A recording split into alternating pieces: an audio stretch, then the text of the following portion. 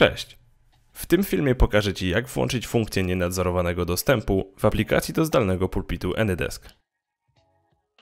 Domyślna konfiguracja aplikacji polega na nawiązaniu połączenia i zaakceptowaniu go przez właściciela drugiego urządzenia. Aby móc połączyć się z urządzeniem bez potrzeby akceptowania sesji, należy włączyć opcję nienadzorowanego dostępu na komputerze zdalnym. By to zrobić, rozpocznij sesję zdalną z komputerem i poproś o zaakceptowanie połączenia z uprawnieniami administratora. Właściciel urządzenia zdalnego powinien kliknąć przycisk Akceptuj z ikoną tarczy.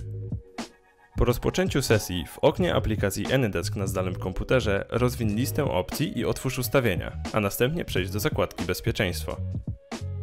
Jeśli użytkownik nie przekazał Tobie uprawnień administratora, u góry okna ustawień będzie widoczny czerwony przycisk Udostępnianie ustawień bezpieczeństwa. Kliknij go i zaczekaj na zaakceptowanie uprawnień.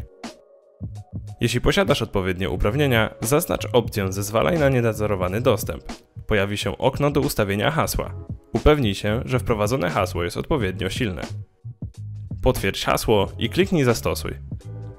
Jeśli chcesz móc zapisać hasło i automatycznie logować się do zdalnego urządzenia, upewnij się, że zaznaczona jest opcja umożliwiająca zapisywanie danych dostępowych. Cały ten proces może wykonać właściciel zdalnego urządzenia i przekazać Tobie ustawione już hasło.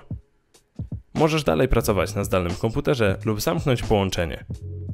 Rozpoczynając kolejną sesję z tym urządzeniem, pojawi się okno wymagające wprowadzenia hasła. Wpisz hasło i zaznacz opcję automatycznego logowania, jeśli chcesz ominąć wpisywanie hasła przy następnym połączeniu. By móc korzystać z nienadzorowanego dostępu, komputer zdalny musi być włączony, a aplikacja AnyDesk musi być otwarta lub pracować w tle. Jeśli aplikacja AnyDesk jest zainstalowana na komputerze zdalnym, nienadzorowany dostęp działa także, kiedy komputer jest zablokowany.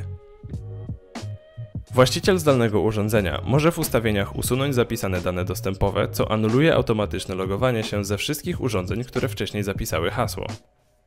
Przy następnym połączeniu AnyDesk ponownie poprosi o wprowadzenie hasła. Zmiana hasła na nowe jest równoznaczna z usunięciem danych dostępowych. Jeśli chcesz korzystać z AnyDesk w celach komercyjnych, odwiedź home.pl ukośnik AnyDesk i wybierz wariant odpowiadający wymaganiom Twojej firmy. Link znajdziesz w opisie filmu.